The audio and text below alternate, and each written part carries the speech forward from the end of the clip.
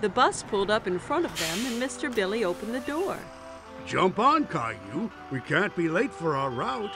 Caillou climbed onto the bus with his daddy. Caillou and Daddy sat right behind Mr. Billy on the bus. Caillou felt like the bus driver, too. Caillou waved at each boy and girl that came onto the bus. Riding the big yellow school bus was lots of fun. Stop, start, stop, start. The bus picked up more and more children. Mr. Billy drove them all to the school.